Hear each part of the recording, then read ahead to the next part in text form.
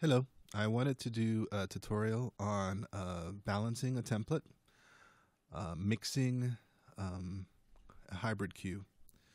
And um, this is a, a lyrical, uh, kind of a sci fi fantasy piece I did. And um, um so uh, let's listen to it and then I'll talk about uh, balancing and my philosophy and, uh, and whatnot.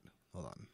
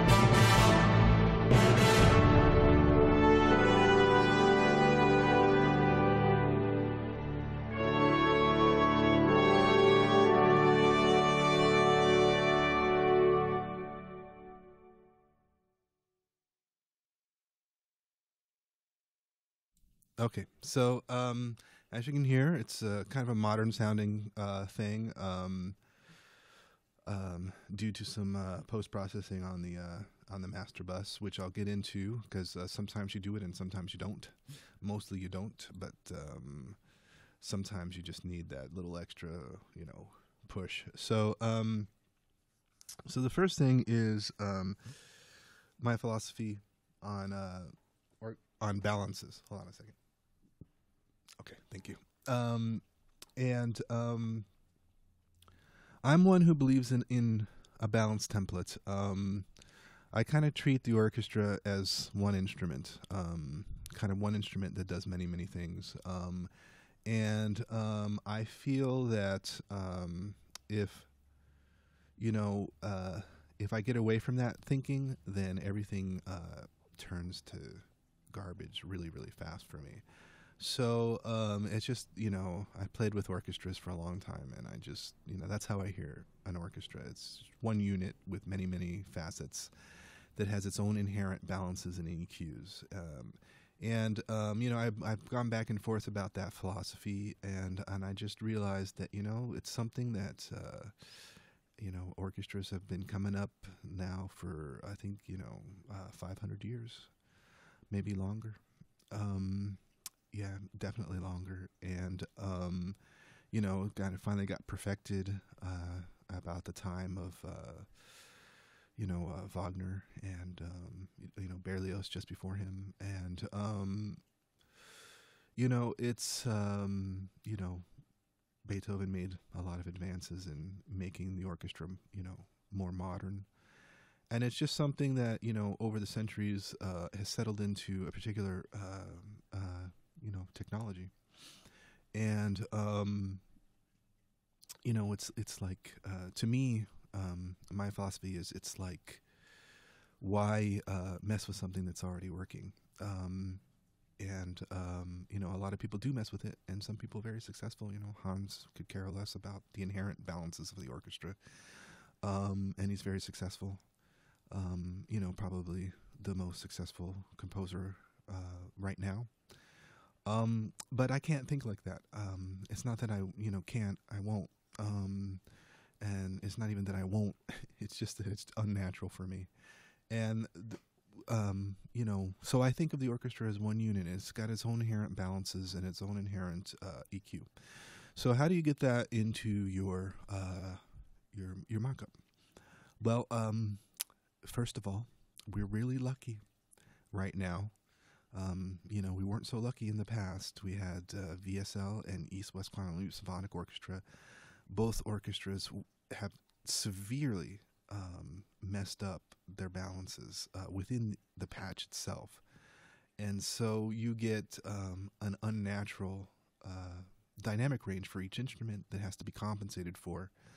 Um, you know, I was going to get into how to compensate for it, um, and um, I'm just not going to. Um, it, it's it's a pain in the ass, and uh, it's really really hard. Um, I've done it. Um, I'll briefly show you. Um, Woodwinds, uh, I, I, host in Vienna Ensemble, which is over here on the right. Um, I know it's kind of small because I have two screens and I'm trying to crunch it down into one. And so you've got, uh, I've got these set low. And then within each uh, instance, if you notice, I've got balances set on the on the faders for each uh, patch.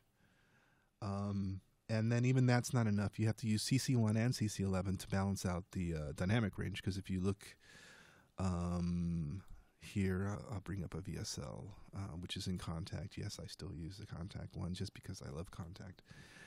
Um, if you notice the staccatos, that's too loud. Um, the thumping is, is, by the way, me uh, banging on the keyboard. It's not the instrument. That's too loud. So you have to take the CC11 and bring it down to range. Like a flute shouldn't really be much louder than.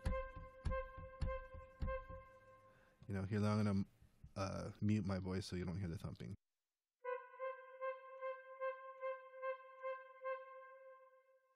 That's as loud as a flute should go, and then this one, if I had it all the way up,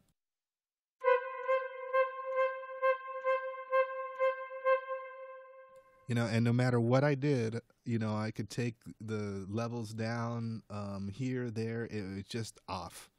And so i have to balance it also in real time using uh, a fader. And so um, to do that uh, to learn how to balance i actually took a piece uh, by debussy and i took the score and i uh, played it through my daw and i looked at the meters to find out you know about what instrument you know would, was playing where depending on the dynamic and uh, also combinations of instruments up to a full orchestral tutti which was uh, I, I recommend doing uh, with every cue that you like um, every piece that you like um, just do it and just kind of look at the score and think you know if there is no score if it's like a, a film score or whatever um, just listen to it and say okay the, the orchestra's playing you know a tutti mezzo forte um, where is that on the meter? Um, or this synth is coming in, um, and I like the sound of it. Uh, where is it on, you know, the meter? And I would just check the the volume meters, the peak meters, find out where it came in, you know, where it peaked and where it left. And I sort of get, got a mental note of uh, things that I liked, and you know, um, and you'd be surprised. Um, you know, I did that with uh, time, um, also with Hans Zimmer's uh, time uh, Inception piece, and um, I was actually surprised that for as huge as it sounds, um, it, it, actually uh, you know uh, isn't that loud at the beginning, and then he uh, limits the upper dynamic range uh, by through some sort of compression. I don't know. It could have been the you know the CD track or whatever um, and um, and so it kind of it flattens out the top, which I didn't really like, because then it creates this sort of pinched, buzzy sound, which uh, I don't really like. But you know, it it, it kind of worked in that piece for some. It made it kind of modern and hip. Um, but um, he gets to that top really, really fast, and so that was important to know because um, if you're ever doing a cue like that, that's kind of a modern hybrid cue um, you know, they're more loud than soft. And um, he got by the time the orchestra was in its mezzo forte range, he's, it was pretty much at the top of the dynamic range, and then everything uh, fortissimo as it got even more and more full uh, was limited by a limiter, and um, just it kind of uh, created this unusual sort of it sounded louder, but it wasn't actually reading any louder on the meter. And so, um, you know, you know, It was almost like a tension kind of sound at the end. You know, it was kind of cool. I can't say that I didn't like it. I liked the piece a lot, actually. You know. So, um, All right, so on this particular piece, the first thing um, that's a little bit on balancing. Um, put things up in your DAW, see where things read on the meter. Um, you know, I picked Debussy because he has a lot of solo instruments and a lot of different various combinations. If, you pick only film tracks, then you'll be really limiting your education, in my opinion. Um, but you know, you can do that with John Williams. You know, put his stuff up and see. You know, okay, where, you know, when the trumpets are playing, you know, you know, where is that coming up? Um, you know, when it's dum, you know, just the partial orchestra. Uh, where's that coming up? Um, you know, do it with Harry Potter. You know, where's that? Uh, you know, the, it sounds kind of up in front. The uh, celeste. Um, where's that peaking? You know, in relationship to the strings that come in. You know, the fast strings stuff underneath it. Where's that coming in? Uh, how, where are they together? And you just take a look at the meters right over here. Um, and you just say, oh, okay, um, that's where it's at. It's like minus 24 dB or you know it's about halfway. And so um, you get like a real good idea that uh, things aren't what they seem. Um, you know the optical or the uh, auditory illusion of loudness may not at times be that loud. And then uh, things that are really bassy uh, you know may be really pushed um, the low end may be pushed really hard. And so you get you know meters peaking almost almost at full, even though it doesn't sound that loud because you know the bass frequencies need to be pushed really loud in order to be heard. So, um, and that's another thing to watch for too. Are you pushing your bass frequencies too loud and actually destroying the loudness of your mix because your bass is too loud and it's taking up a lot of dB space that you know, and you're pushing and pushing and pushing. Especially those of us in home studios, you know, you're pushing and pushing and pushing to get more bass, more bass, more bass, more bass, and then uh, you've just completely destroyed anything uh, on top of that because there's no more room left for it. Um, and that is a a big, big, big, big, big mistake that I've made, and a lot of people continually make. Um, they push the bass too loud. Um, so okay, on this cue here, um, the first thing is is uh, on mixing. Um, that was on balance, and now it's on mixing. Okay, so I have four different elements. I have the orchestral. I could consider one instrument in of itself. Synths um, of various, uh, you know, rhythm and uh, pads. Uh, so I consider that a sub, another uh, instrument. And then, you know, you can do rhythms with synths. You can do uh, pads. You can do soundscapes, whatever. Um, sound design um, which is kind of a blending of what I considered synth and and uh, sounds, uh, you know, recorded sounds, and um, per, uh, drums, drums, and there's orchestral drums, and then there's you know hybrid or sound design drums or rock drums or whatever it is. You know, there's all sorts of things, and um, if you look over here, I kind of have things sort of set set up like that. I have a low brass, uh, all woodwinds, all brass, um, all orchestral percussion, all strings, keys and harps. Um, these are buses that I bus my tracks to. Rhythm section, uh, music submaster, what I call. That's where I put um, wherever I want uh, my orchestra comes up. I should actually call it, call it that orchestral submaster. It's my own bias. I put music submaster, but I, I, it's a it's an orchestral submaster. I put everything that has to do with an orchestra through the same bus. Um, but I've pre-bussed everything too, so I have one you know bus for strings, and then I I bus that over to uh, my music um, bus, and um, yeah, I can, you know, I can call the orchestral bus the music bus, and then I, I will call the uh, the uh, other stuff the noise bus. That's how I kind of figured it in my mind. But anyways, um, this uh, I was told not to do, but um, I love doing this, and that is I put everything in my orchestra in one hall, and I do that across the orchestral bus, and I just put uh, I mix a little bit of the reverb in there. Um, and then I put an EQ that changes depending on the cue, but this one was a hybrid cue with a lot of other synth bass stuff in it, so I, I kind of rolled the bass off just a tiny bit, not much. Never do much to something where you have a lot of instruments going through. And I'm going to repeat that many, many times. Do not do a lot of stuff to a bus or the master bus, uh, the stereo bus, where you have all your instruments going through, because you will destroy anything, any credibility that you have, um, any integrity, uh, if you do too much, because it affects everything. So um, anything that you can do on these, you know, major buses um, is probably best handled at the track level, or you know, in one of the sub buses, what I call like, you know, you want to get a little bit more sweetness out of the strings, and so you put an EQ on there, or you boost a, you know, a little bit, or you enhance it with the stereo stuff. You know, all the stuff that you do is best handled away from the main buses.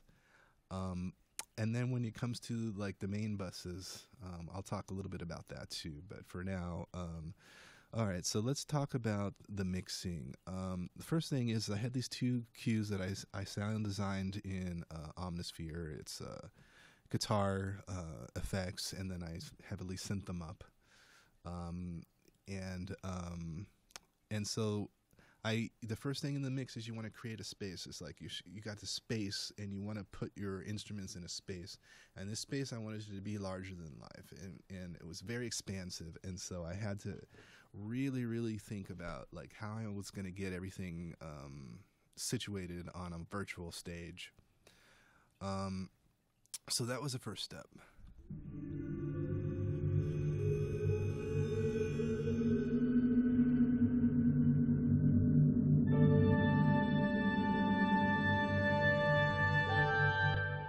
So I wanted my synths way, way, way in the rafters um, on the sides, and I wanted my orchestra in the middle. Um, but it also the orchestra's got to sound big, so it needs to be spread out in its own space. So I had to put the synths way, way, way. And what I did is I put all the low sort of you know sound designy synths on uh, in one. Um, I call it low synth pads. One bus. Um, and then I enhanced it. I spread it way, way, way out, and then uh, EQ'd it to get some distance on it, and then put a little reverb on there just to you know glue it all together. And so you get this feeling that it's around you.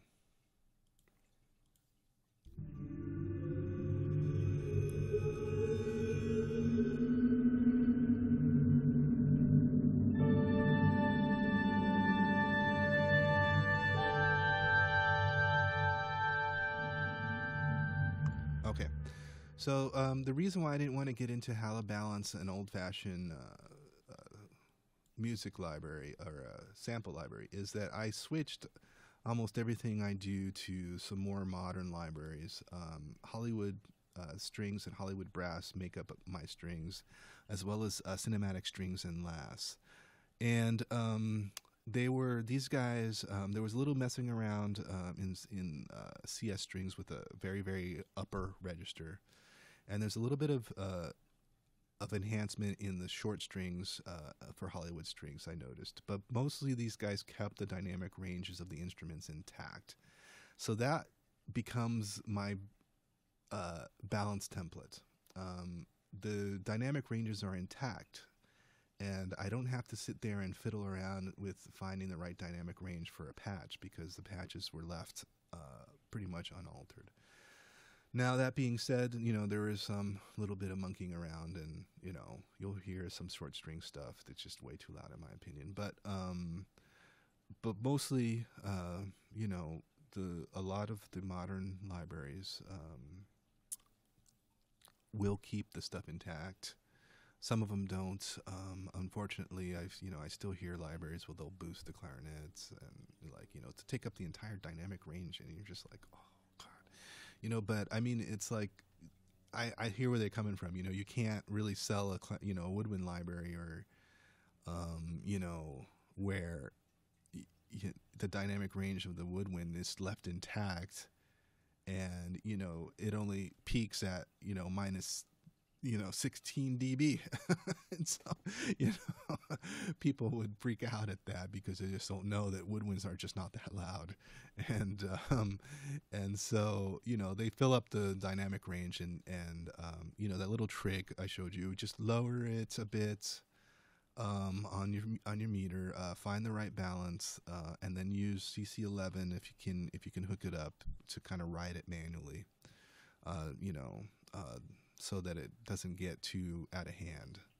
Um, dynamic wise. And um, you can go into, you know, and I had done this in the past, go into and you can actually rebalance uh, at the sample level, but it takes a lot of time and it's a really pain in the butt. And and there's a lot of uh, libraries coming out now that, um, you know, that really try to keep the original dynamic range intact. And, you know, I'd like to move to doing my own library someday Get enough money to just hire people and just do one where everything is just left untouched. Because the more processing these guys do with their commercial libraries, the the worse it is at the end. And um, you know, it's it's actually getting to a point now where um, you know, mock-ups um, are almost going, uh, you know, backwards.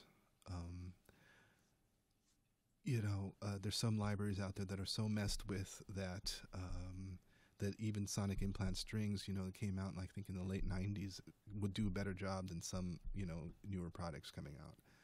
And um, just because they didn't mess with it, the final recording that much. Um, and same with uh, Sonic Implants uh, woodwinds, which I really like the sound of. They just lack legato, but it sounds more natural. You know, it's not like blaring. And um, you know, and that's something I really wish that um, kind of kind of the money of the would go away from sampling, you know, and uh, people would just uh, you know do not try to hype everything. That's my sample plug. Uh, don't try to make it better than it is.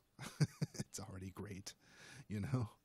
Um, okay, so that's the first thing in mixing is finding a virtual stage, and so uh, the synth pads I wanted really far, far out. And the orchestra, um, if you notice, uh, the the woodwinds are sa- slightly more resonant than the strings in this dynamic.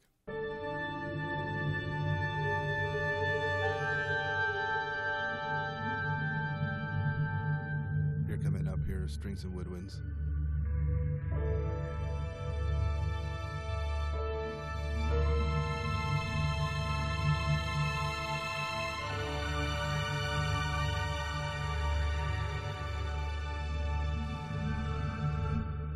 Okay, so um, the woodwinds. Um, I something I noticed uh, in recordings is they can't play as soft as strings and they can't play as loud as strings. Um, and you know, I, you know, um, I just generally generally tend to, to notice that it has a more limited dynamic range than strings. So, um, if you notice the first entrance of the woodwinds here, it's.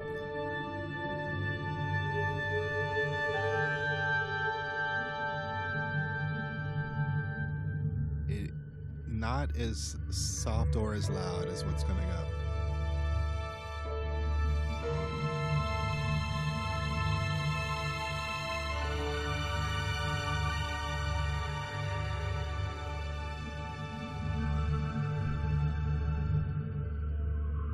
All right, so that's another thing to take care of in, in balancing. Uh, it's not even a mix thing. That's why I always say that, you know, once you balance, then the mixing sort of takes care of itself in a lot of ways.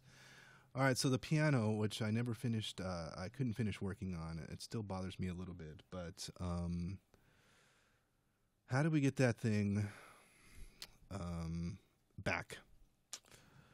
It's a close mic sample, which uh, something that you got, you guys uh, will, will come across a lot, actually.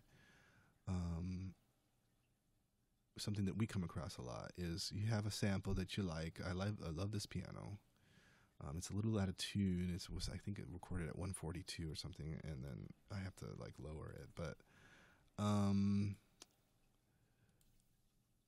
it's something that if I take off all the processing, if you notice that here, see that it's if I take off all the processing on this thing, you will notice that it is really close and really dry right? And so again, the thumping is just that I have my microphone stand on the sta- on the uh, on the desk. All right. So um, the first thing I wanted to do is just set it back a little bit uh, using an air absorption technique um, with EQ. You just roll off a little bit um, of the highs, just a tiny bit, not even more than you know two dB. Um, starting somewhere in the middle, uh, and you just start rolling it back a little bit. So it, it sets it back a little bit. Okay, that's with, and this is without. See, moves it back just a tiny bit. so it starts to sound like it's in a room. Okay. So then next, um, just to give it a little shimmer, um, I set up a, a chorus here and a little bit of an EQ, I mean a reverb. Chorus. So you see it helps with the room. Um, without, with. Gets it a little more room sound. You see that? Okay. And so then um, once I had like a room, and I could have gone farther than uh, than what I'm doing, uh, guys. Um, I just uh, it was a cue I had to do in six hours, and I've gone back since and and done some uh, stuff, but um, I could have done a, a slight early reflection. Uh, I like using this room RoomWorks. I don't know why. Um, done it so that um, just by ear, giving it just a little bit more room sound. See?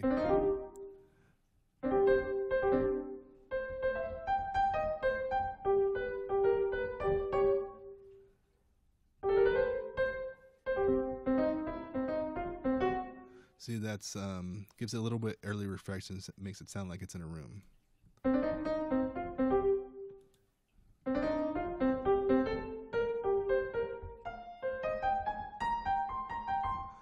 Okay, I used to have this thing called SPAT that would help, but I went 64 bit, and unfortunately, SPAT's not 64 bit. And SPAT is a room em- emulation, um, which uh, works really well at doing what I'm doing here manually with about five different plugins.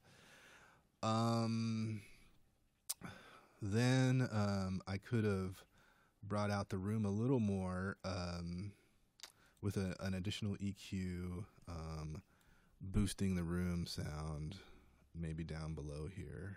Uh. Let's see if that makes a difference. And you know, I mean, that doesn't really not doing much.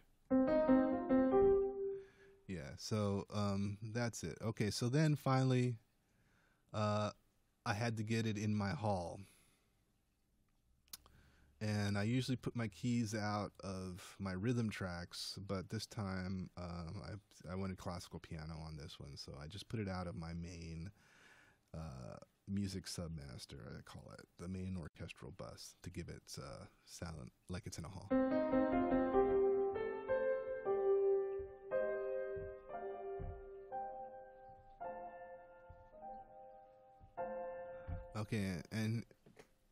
Another one where the dynamic range seems like it's a little bit altered um, from the original, but uh, I just learned to live with it. Yeah, so like,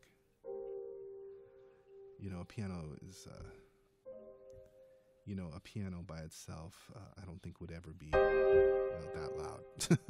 so I just uh, used the softer ones, and it had a nice sound to it. So. Um,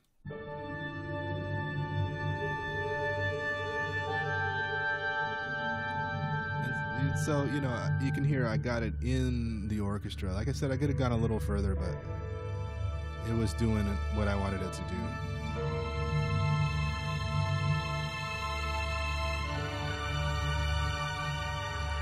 All right, so that's how you take um, very, very manually by hand take a close mic sample and make it seem like it's fitting within uh, ensembles that were recorded in larger rooms or even in halls and um, that's a, a, that's a long way to do it. Um, you know, room positioning um, software um, is um, actually something that actually would work um, probably even a lot better than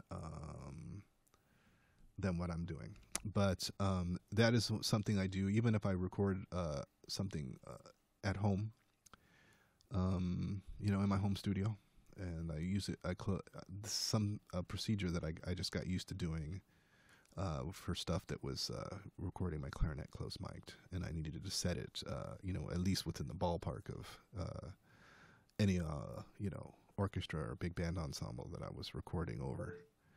And um, so, you know, the air absorption technique thing. Uh, there's if you look online. There's uh, plenty of places online that uh, actually I only found one place where they have a calculator that you can calculate. You know how far if you want it to be. You know in meters, I think.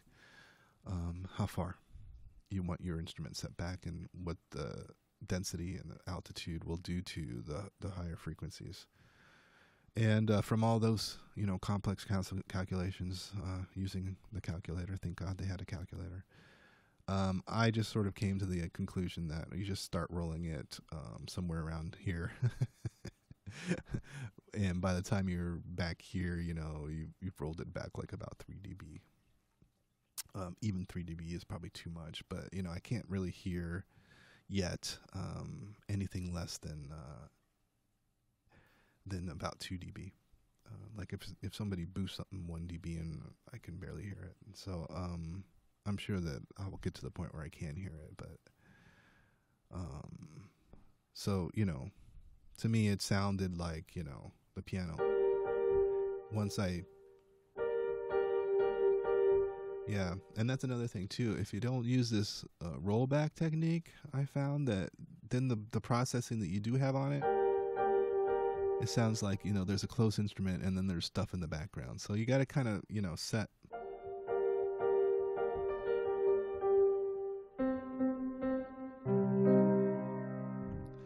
said it.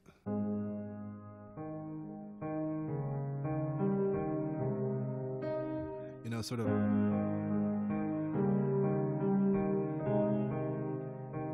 You know, kind of like um, you got to set the instrument in the room, like in the distance first. Like, you know, think about air absorption first. And then you can start adding your, you know, uh, effects. All right, so that is uh, how to set close mic sample back into space, um, and that's another you know issue of uh, of balancing. It's not even you know that much of a mixing. It's just making sense of like, okay, I don't want this instrument in my face, and how do I take it back away from my face? And so that's the thing. Um, a lot of times, especially uh, new people, um, seem to uh, neglect um, is the idea that you're putting your stuff in a space now, be very, very careful, uh, especially new guys. And I've, you know, I've corrected about, uh, you know, three or four people, and I've made this mistake over and over again. And I promised myself if I ever make a mistake, you know, I'm, I'm like pretty, you know, uh, classically trained, and uh, this stuff is kind of new to me. Um, even though I've been working at it for a few years now, but um, I promised myself that if I uh, figured something out, um, that I would share it because I, I, really don't think uh, you know I, I, I, hate to say that I hate the technology. It's just for me, it's more of a necessity um, than uh, a passion. If I could do music without using technology, I would in a heartbeat. Um, I don't love it, and I'll be the first to admit that I don't love it. I don't love samples. You know, I, I, I like synths a lot actually because you're creating something with them. But samples to me is just like you just you know you're you're faking that you have the real thing. and if it wasn't something that I had to do, I wouldn't do it. Um, but that being the case, since I have to do it, then I want to do it as good as I can. And so, um, what um, uh, I'm leading to is that um, I always promise myself that if I figured anything out, that I would share it because I don't think people should be struggling with the technology. Or you know, struggle with your music and you know and, and technology gets in the way of the music. I've written plenty of so many bad pieces just because i was struggling with the technology and didn't have time to think about the music. Um, but um, you know once i got a hold of the technology then all of a sudden you know my musical ideas started to come out better. And i'd say i'm about 75% there and and i'm about another you know couple weeks i'll probably be the rest of the way there. I'm starting to get to the point now where I, if i hear that an orchestra can do it i can pull it off with samples and I'm actually very happy to get to that point because I can start start thinking about music again, and I don't have to think about crappy samples all the time. And um, so um, the point is, is that I don't think people should struggle with the technology. I think you know we should just get it down, and then we struggle with the music because that's what makes you know everything more exciting. You know, I'm not one of those people that say, well, if I give you know somebody a technical advantage, then they might you know be competition. So what? You know, compete with the music. Don't compete with you know your knowledge of you know how to use a compressor. It's like compete with your ideas, you know, your heart and your soul and your mind, not with you know, is does he know all the shortcuts to his DAW? Um, that kind of stuff to me is just so petty. It's unfreaking believable.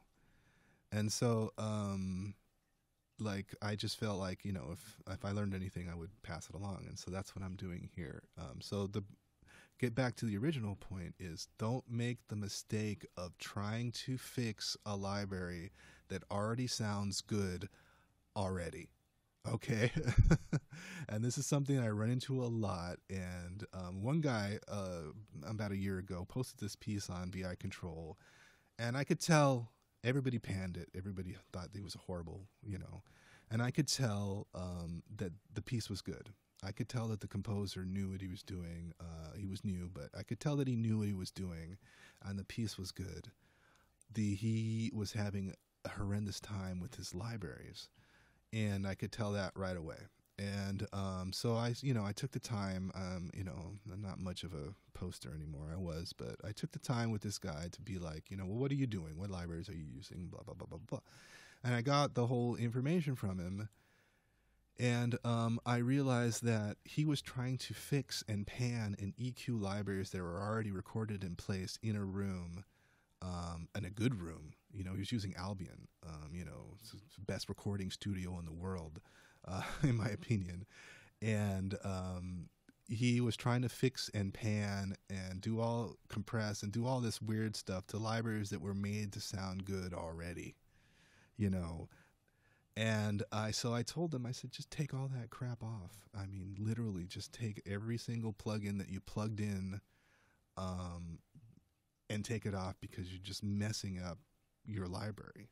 It was already recorded in place. Uh, it was already recorded in a great room, and it was already recorded well. So you don't need to EQ. You don't need to slap on a whole bunch of reverb, and you don't need to do anything to make the library sound good. Um, or you know, because uh, all you're going to do doing is altering uh, drastically uh, something that was already good to begin with, and uh, and he did that, and his piece, uh, you know, it, it really kind of lit up. He had other problems too. Um, you know, he was a beginning composer, um, but um, you know, it was it was night and day. And so I still run into that every once in a while, and I and I don't mention anything just because I'm so you know I'm tired of uh, arguing with people on a forum.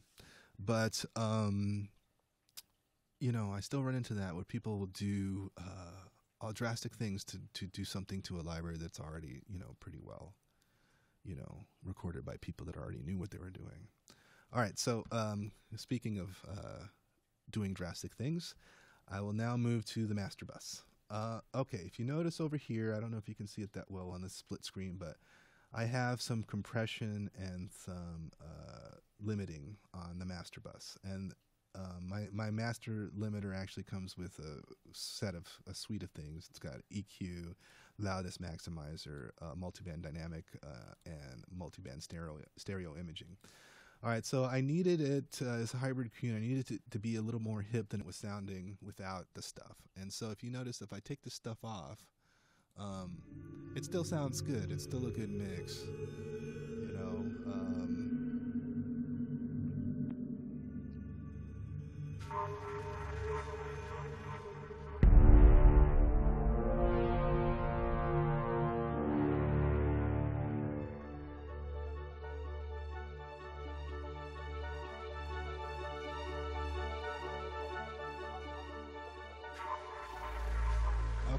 so if you notice, it's still a pretty good mix, and things are still pretty balanced. And that's another thing is is that if it's not balanced by the time you slap something on the master bus, then the master bus is only going to make it worse. Um, and and and a lot of things, you know, I just needed that hipper sound. Um, but in on in all honesty, I probably should have put a little bit of uh, early reflection on on my woodwinds because they do sound like they're a little in your face. But um, in all honesty, um, you can't fix something by messing with the uh, master bus, and then anything you put on the master bus is going to change your mix, mix dramatically, and sometimes for the worse. A matter of fact, it's almost 100% it's going to be for the worse. But um, you know, you need to do it sometimes just because you need that modern sound. So the first thing is, is I put a little compression, just a tiny amount. It's on the softest setting here. I use uh, something Stillwell's the Rocket just because I love this thing. It's so versatile. It can be, you know, in your face loud, and it can also be very subtle, which is great. And if you notice, it just makes it a little more forward, right? But if you notice also, it messed up the woodwinds. Uh, the woodwinds that I carefully balanced out um, when there was no, you know, stuff on the master bus are in place.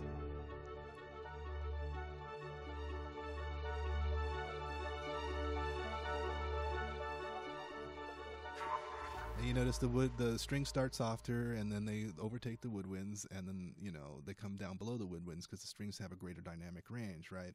Well, you know, I put this bus compressor on, and it just messed it up.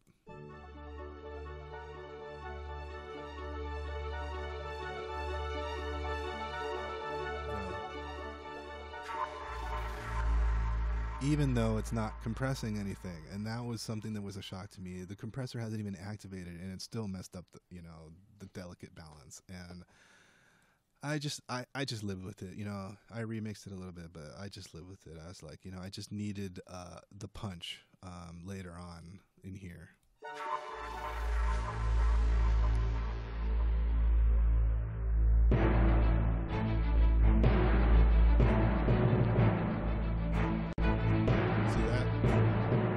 Gave it more fullness, a little louder, and more punch, and I needed that. Um, also, you'll notice that um, that the dynamic range goes greater than what I had.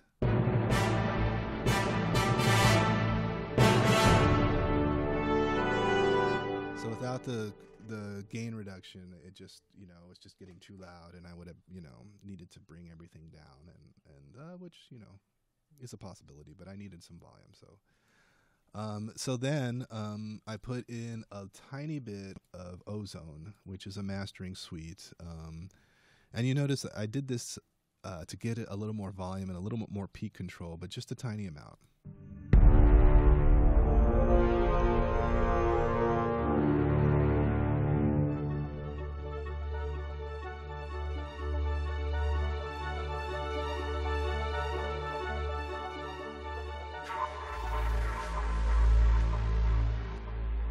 See that?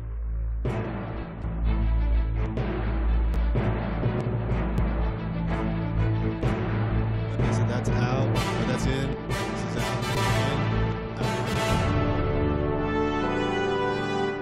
And what that did, the limiting did is actually, believe it or not, restored um, um, the highest uh, level by putting a little bit of limiting on on the peaks. Um, I was able to kind of uh, bring up the mix and uh, bring it back to, even though the dynamic range is reduced, um, the apparent loudness, it got a little louder, and which is what I wanted because it got actually a little softer when I put the rocket on there. Fuller, maybe a tiny bit louder, but the uh, the brass just, you know, I, I almost lost them on on the with the compression, uh, if you notice.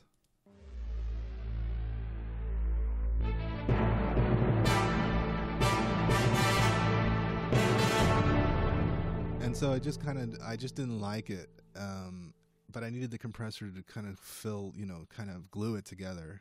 And that's another thing is like you know hybrid stuff's many different elements, and you, sometimes you just need to glue them together. And so I put the limiter on, and uh, gave me back my loudness and punch.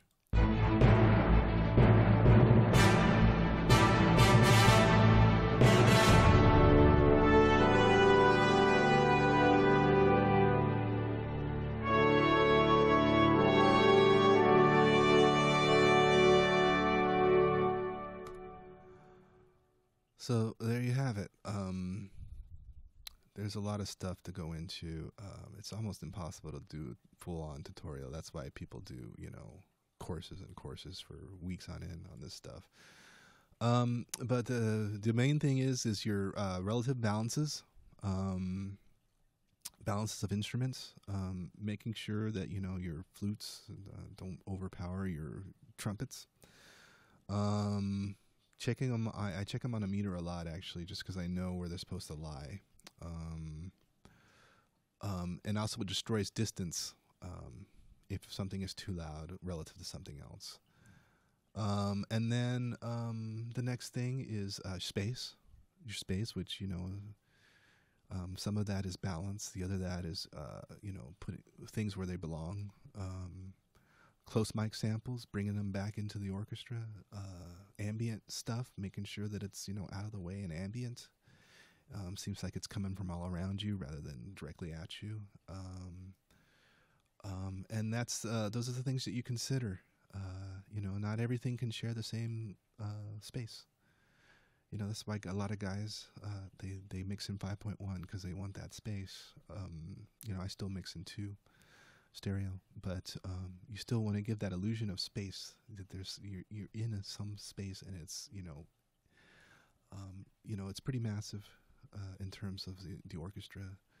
Um, you know, and and then you know the orchestra itself. I kind of like to leave it untouched. Uh, a lot of it is untouched. Uh, tiny bits of EQ and compression here and there, but mostly I just like the sound of the orchestra. So I, I choose libraries that are already well recorded, and you know I I hate close mic samples. Oh God, whoever thought of that idea for orchestral stuff is to be should should be you know put in prison for ruining my life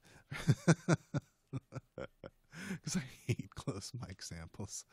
Um, you know, it's just so unnatural. Like you know, if you go to an orchestra concert, you're in the hall, you're sitting you know away from the orchestra.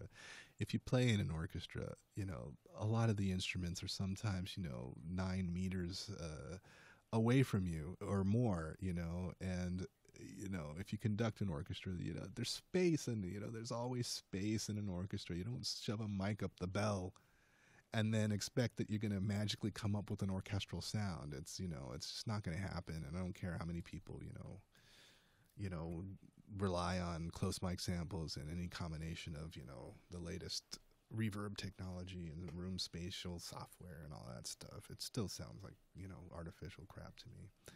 So um, I like to, you know, get uh, samples that are already recorded with with the orchestral composer in mind. Um, get one. Uh, Hollywood series is great. Uh, I didn't pick up the woodwinds, uh, uh, but um, you know, strings and brass and the and and the percussion are probably going to be pretty good. Um, uh, cinematic strings. he did a really good job. he did boost a little bit of the short strings and on the, the and, but it's only 3 dB in the upper dynamic range. Um, it could be controlled a lot with CC11. Uh, LASS, uh, I use LASS LS is another one, you know, pretty well intact, uh, a little louder than I think strings should go, but um, easily controllable. Um, and so libraries that um, are recorded, um, you know, I, don't I, haven't picked up any of the Albion. I'm looking into Sable um, but string, you know, things that are recorded with the original dynamic range intact are very important to doing uh, a mock-up um, that it at least uh, you know comes close to what you think an orchestra should sound like. All right, if you hung out this far, thank you. Take care.